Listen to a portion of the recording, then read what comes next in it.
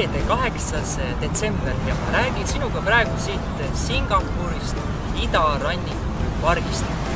ma olen Singapuris olnud juba üle kuu aja, ootasin uut Eesti Vabariigi passi ja eile pärastlõunal sain lõpuks kätte uue passi ning juba järgmisel nädalal saan ma jätkata oma pikka jalutamist ümber maailma läbi Indoneesia saarestiku Austraalia suunas. Lisaks uuele passile on veel üks väga-väga hea uudis. nimelt Eesti matkatarvete firma Matkasport otsustas hakata mind sponsoreerima, saates mulle tasuta väga-väga kvaliteetset matkavarustust, mis muudab minu jalutuse, jalutamise väga-väga palju kergemaks viimase kolme aasta ja seitsme kuu jooksul olen ma jalutanud rohkem kui kaheksateist tuhat ükssada kilomeetrit kahekümne ühes riigis. selle aja jooksul olen ma kasutanud viite erinevat telki, mis ei ole olnud väga hea kvaliteediga, sellise keskmise kvaliteediga ning läinud tihti katki.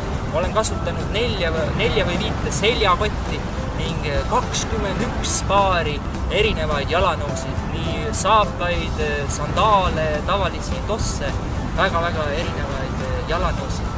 Ja mul on tohutu suur rõõm, et Matkasport otsustas hakata mind sponsoreerima, saates mulle ülikvaliteetset matkavarustust ja eile oligi see päev, kui ma lõpuks sain kätte Eestis saadetud esimese paki ja mu kõrval on minu uus punane seljakott ning mis on täis siis head ja paremat ülikvaliteetset matkavarustust, mida ma siis praegu teile ka soovin näidata.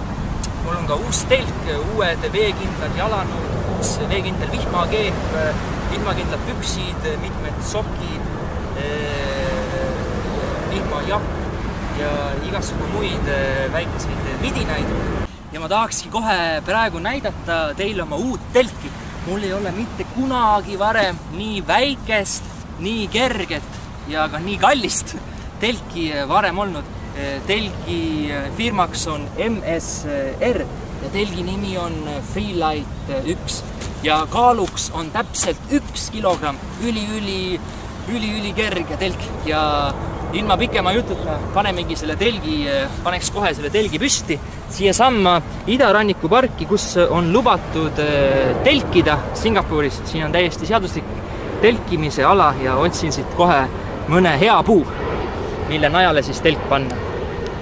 nii, leidsingi siit nüüd ühe hea puu, mille najale võiks telgi küll püstitada, olen väga ärevil, ma ei ole seda telgi pakendit veel kordagi avanud, täiesti esmakordne esmakordne avamine ning selle telgi hinnaks on üle neljasaja euro, kuid lahked matkaspordi inimesed saatsid mulle selle täiesti tasuta. nii, paneme siis selle telgi siia püsti.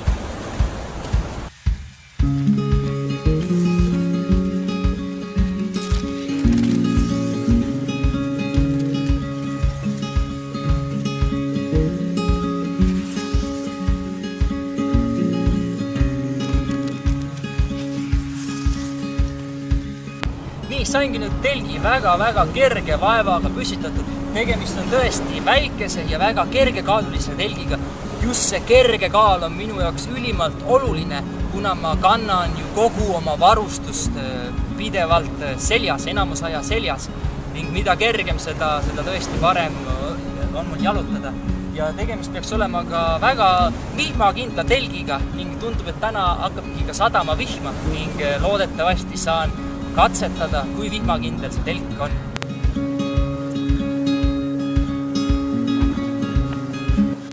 järgnevalt on mu käes üks väga kerge madrats, mille kaaluks on seitsesada nelikümmend grammi, alla ühe kilogrammi kaaluv madrats Termaresti kompaniilt.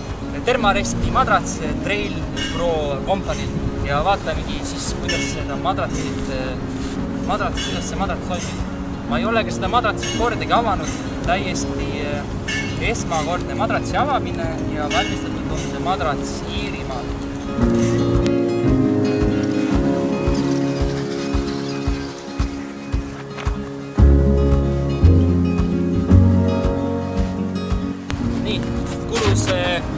kakskümmend kolm puhumist, et täita ära selline ilus roheline madrats. Paneme sinna kohe telki sisse.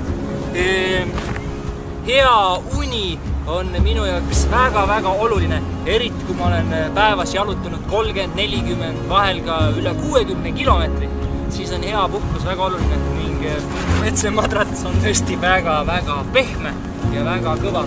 paneme ta siis minu uude väikesesse majja.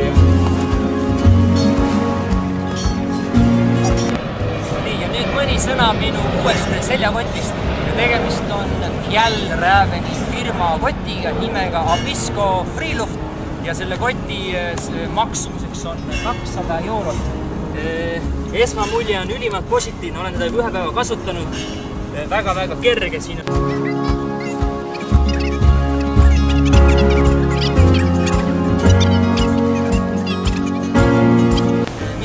Vaatame, mis siin kottidel on. teeme selle koti lahti, nagu jõulud oleks tulnud see aasta varem.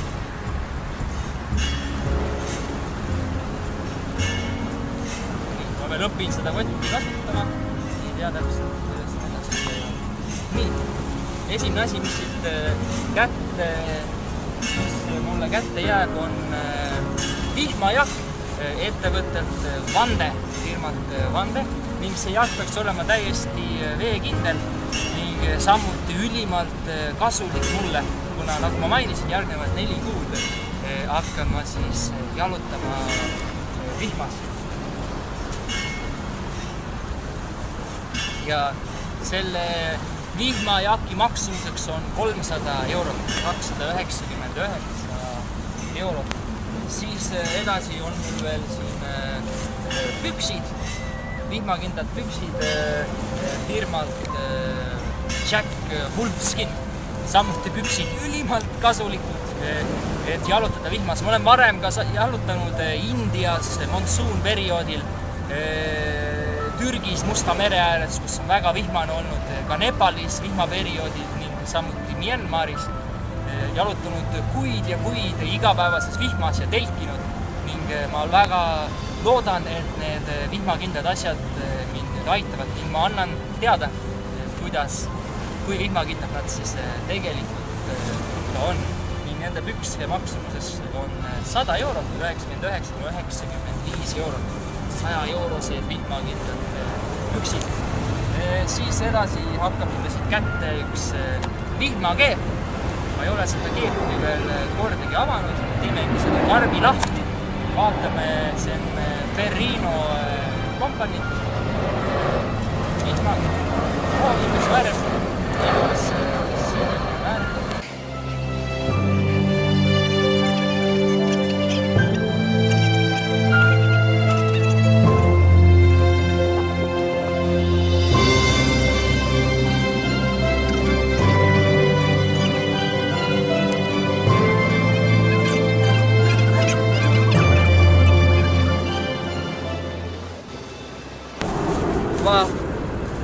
tõesti ülimalt kerge vihmakeep ja katab ilusti, nagu näete, kogu seljakoti ära.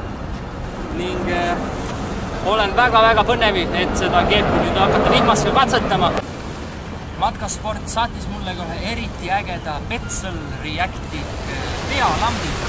pealamp on minu, minu jaoks üks igapäevaseid vahendeid, kui ma telgis olen ning kasutan pealampi palju kuid seda pealampi on võimalik laadida ka USB kaabli kaudu väga,. väga-väga arenenud äh, väikene pealambike. siis mul on veel kaks paari väga ägedaid äh, kergeid äh, matkasohke, siis proovingi kohe ühe paari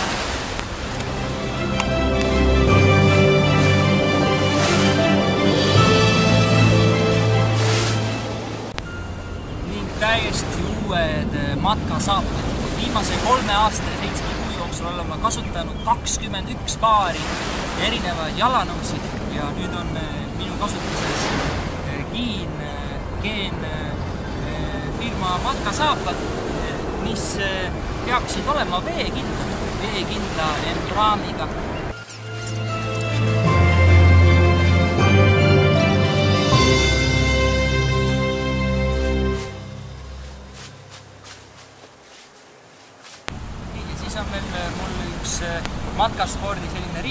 mida võib kasutada nii peakattena kui ka sallina. Nad on mitu väga erinevat otstarvet. tuhat tänu Eesti ettevõttele Matkasport, kes otsustasid hakata minu pikka jalutamist ümber maailma sponsoreerima, saates mulle väga kvaliteetset matkavarustust, mis tõesti muudab äh, minu äh, jalutamise ja rändamise väga palju kergemaks. aitäh, hoian teid oma rännaku edasise kulgemisega kindlasti korras. olge, olge tublid, tšau!